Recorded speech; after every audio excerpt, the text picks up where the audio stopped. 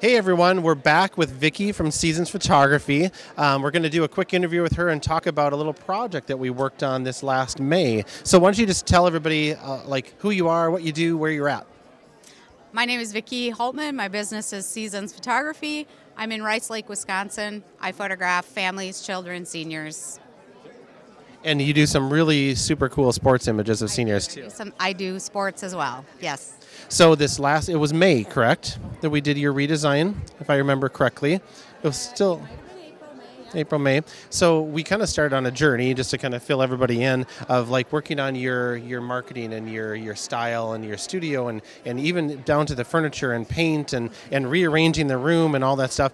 And the the thing that I really loved about that experience with you is that you listened and you were willing to be like, "Yep, I'm I'm willing to listen and actually change these things." Because I talk to a lot of people that are like, "Yeah, that's nice, but no, I'm not going to do that." So last May we did a, a, whole new installation for you. Can you tell us, you know, briefly about like how that has impacted the rest of 2021? Yeah. So yes, Matt hurt my feelings a couple of times, and I knew I was going to be better for it. So thank you. Um, yeah. So that it just kind of upped my confidence in being in and solidifying what I do and why I do it, and being able to translate that to my clients.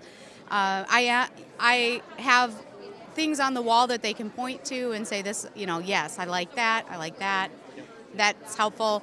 I, my goal for 2022 is to kind of use those things in my consultation, kind of walk them around and let them touch them, and do that a little bit differently to really prepare them for their um, sale and what do they want at the end? What's the end product?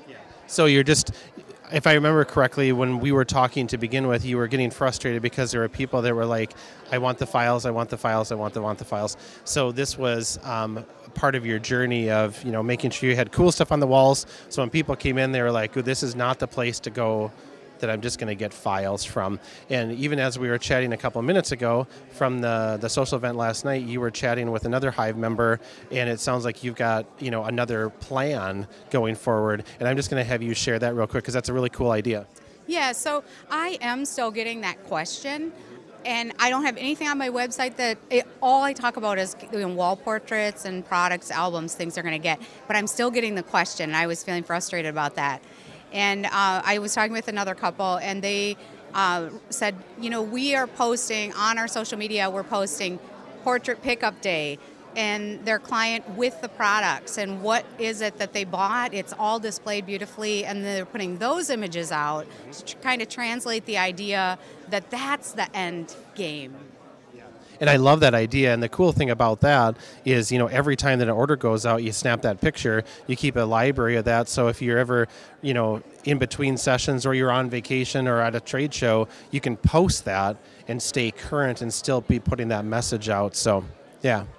That's the idea. Yes. I, I really don't like the whole social media thing. I'm not great at it. So it's something I'm continuing to work at. But yes, I have compiled a library of product images uh, from actual you know, customer orders. So I those I'm going to start putting that myself.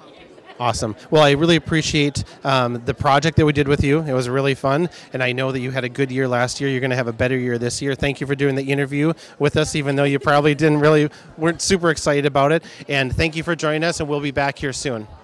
Hey everyone, thanks for checking out White House Custom Color on YouTube.